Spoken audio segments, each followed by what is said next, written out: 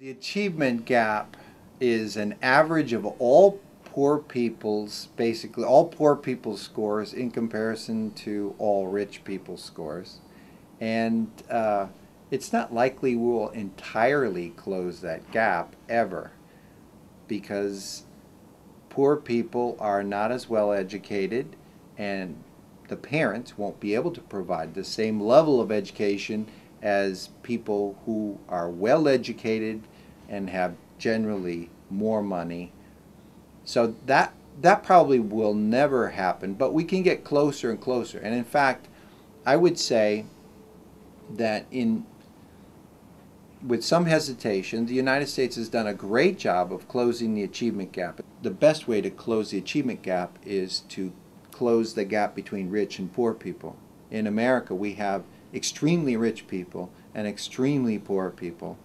That's not the case in Sweden, for example, where people are more or less get a similar wage. Everybody has health care. Uh, we don't have that in our country. Uh, not everybody works two jobs. There's a lot of working poor that work a couple jobs, and it's hard for them to work with their children because they work so hard outside just providing for their family. So closing the achievement gap is partly we could reduce the gap between rich and poor earners in, in our society. The achievement gap between black and white students actually closed, uh, got the smallest that it's ever been since we started tracking this sort of data um, in the 80s. And that was at the same time that students were being bused, sometimes involuntarily. You know, a lot of people supported that, a lot of people didn't support that busing of students around. But what I think it did is that when we share our students, we share our resources equally. And that is when our history in the 80s, that the achievement gap closed the most between uh, white students and black students. But since the business, um, the business people got involved in education and politicians and textbook companies and testing and standardized testing, since they've gotten involved heavily, the Business Roundtable has gotten involved in the 80s and the 90s, that achievement gap has actually grown. And it's become I think Jonathan Kozol was saying that it's it's the as wide as it's ever been, you know, pre-civil rights era. That uh, I'm just fascinated by the idea that when we mixed all of our students around, like just threw them in hodgepodge, and they were kind of equally distributed, that suddenly the scores started to even out because I think we all considered all children our own and didn't segregate them. I think the segregation leads to inequities in terms of closing the achievement gap, I think parents are critical. Um, but uh, having worked with educators all of my life, um, I have a tremendous respect for teachers, and uh, teachers are one of the single most important factor in a classroom in terms of affecting student learning.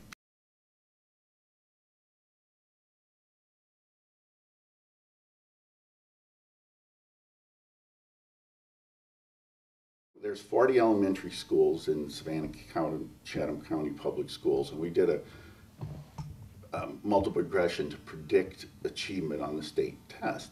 We got 100% of the variance. All of the variance was explained by the combination of percentage of kids for free lunch, percentage of kids that were African American.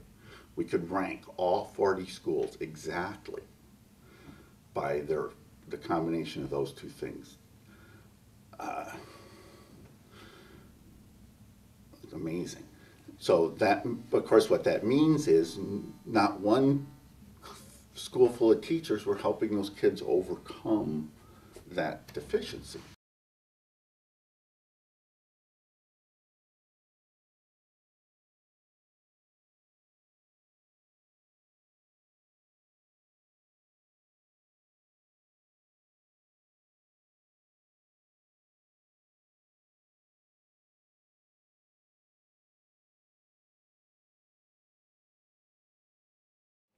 You know, there is a belief out there that teachers from this school are not doing everything they can to raise the test scores of the students in their classrooms. And that's just not the case. With few exceptions, I'm sure, unless the administration in the school is lacking, teachers who work with disadvantaged student populations are trying every measure possible to help those students achieve academically. And as an educator who has primarily worked in schools with high poverty and students who are English language learners, I am truly bothered by these erroneous arguments.